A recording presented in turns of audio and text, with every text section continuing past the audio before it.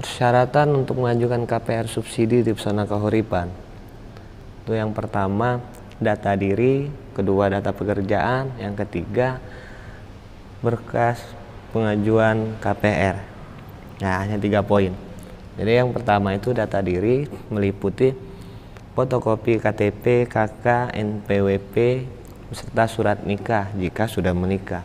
Jika belum, surat nikahnya ditiadakan jadi pengajuannya single dan yang kedua data pekerjaan data pekerjaan ini seperti surat keterangan atau surat pernyataan bahwa teman-teman sedang bekerja di perusahaan, instansi ataupun swasta mulai dari atau sejak tanggal bulan tahun sampai dengan sekarang masih aktif bekerja. Jadi hanya sekedar surat pernyataan dan ini harus asli dan stempel dan tanda tangan asli dari perusahaan atau atasan. Lanjutnya selip gaji dan rekening koran tiga bulan terakhir.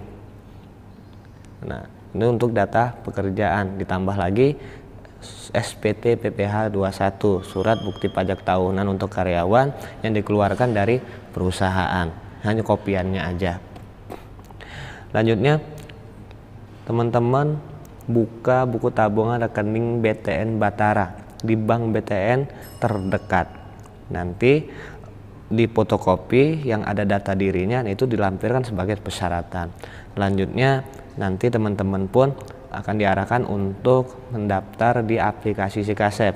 Aplikasi Sikasep ini adalah aplikasi yang dikeluarkan Kementerian PUPR untuk menyeleksi apakah kita layak untuk mendapatkan bantuan subsidi dari pemerintah.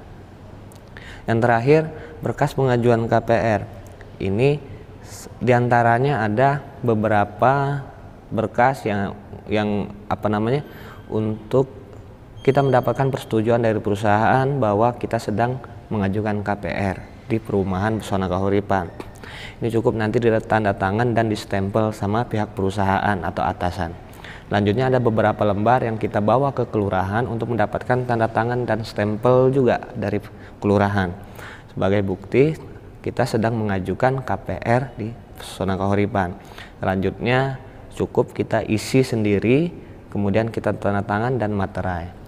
Mungkin hanya seperti itu persyaratan-persyaratan untuk mengajukan KPR subsidi di Pesona Kahuripan cukup sederhana dan ini syaratannya cukup mudah untuk kita penuhi.